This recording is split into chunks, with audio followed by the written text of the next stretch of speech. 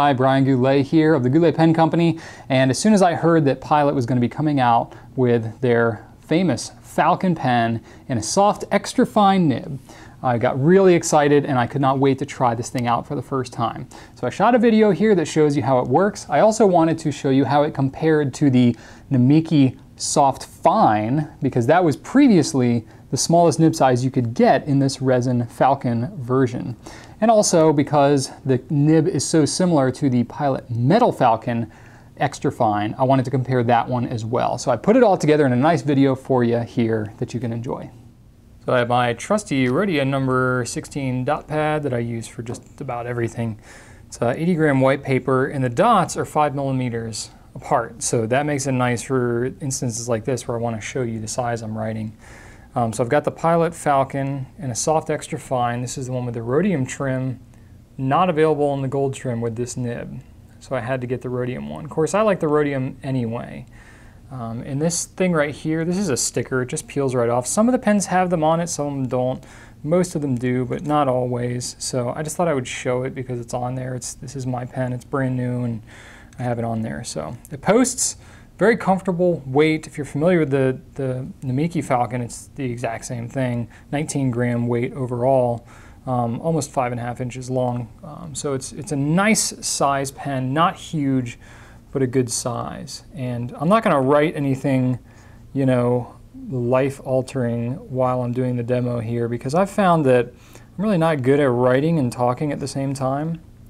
So I'm just going to do some little X's and then do some, um, you know, demonstrations of its flexibility here. So you can see that this nib is pretty soft. I mean, I'm definitely giving it some intentional pressure. Um, it's not like I'm going to accidentally flex this thing, unless, you know, unless you've got a really heavy hand anyway. You may want to kind of watch it, but really, you know, this is not a wet noodle if you're a, you know, flex nib connoisseur or whatever. If you're familiar at all with the Pilot Metal Falcon, it's very, very similar to that, to that extra fine nib in there. And I actually have one of those too that I can compare. Um, I just inked one up so I could show you here. Um, but this is the metal. Now this pen is heavier. The metal pen is a little bit heavier. Uh, but I find that makes it feel a little easier to flex just because the pen itself has a little more weight to it. But in terms of how fine a line is and everything, you know, I can pick right up where I left off with the resin one. And you can't tell any difference between these two, right? So there you go. So I like the Metal Falcon. This is a $240 pen, you know, street price. So it's expensive. It does fit the Con 70. That's kind of nice. So it's got a bigger ink capacity. However, I think the main reason to get this pen before was to get that soft extra fine.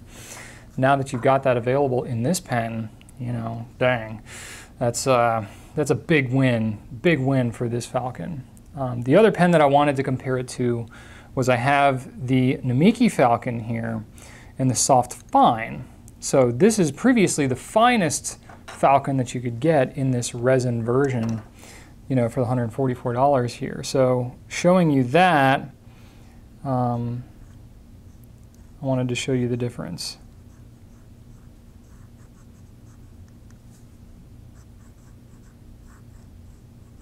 I'm flexing a little bit here. And I just inked all of these too. I thought maybe a lot of you would be familiar with the soft fine. Maybe you've seen some reviews or maybe you have one of these yourself. Um, but just to show you, so I'll do some, oops, I'll do some X's and O's, or X's and figure eights, I guess. One thing about all these pens is if you get really low at your pen angle and push really hard on this pen, you'll get what I have going on right here. That's actually the feed that's dragging on the paper. So that's something you got to watch out for. That's a technique thing more than anything else. I just did it again. Um, but there you go. So that shows you how fine the fine can be. And then if I go with the soft extra fine,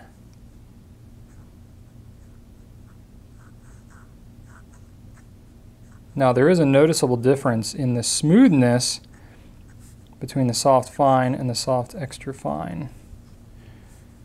and that um, is a compromise. You know, you definitely are having a trade-off of the smoothness. This extra fine nib, I just railroaded a little bit. Um, that extra fine nib is going to feel a little bit scratchier, and that's not anything unusual. There you go. So it is a noticeable difference. Um, the fine writes a little bit wetter. The extra fine can have a tendency to railroad on you if you write too fast with it. That's going to depend on the ink and technique and stuff. That's not something I run into all that much. Um, but hey, you know, that's life. That happens. Um, so there you go. That's, that's how the extra fine writes. I, I like it. I'm really glad they came out with it in this pen. I think this pen is going to be kind of the new staple for anybody who wants a gold nib that flexes, that, that you can use as a daily writer, but that you can also um, you know, have that, that flex to it when you want it there. It's a classic style. It's professional, but yet it's got personality to it. You know, it's got everything that the Namiki Falcon has always been popular for, um, except, you know, it's got that rhodium and then it's got that extra fine nib. So pretty rockin' pen. Really happy with it. I'm, I'm glad to see you came out with this pilot. Thank you. If you have any other questions about the Falcon, either metal or resin, you can always leave me a comment on YouTube or on Ink Nouveau, or you can shoot me a little comment on Facebook or on Twitter. So I hope you enjoyed this video. Thanks for spending time with me today, and right on.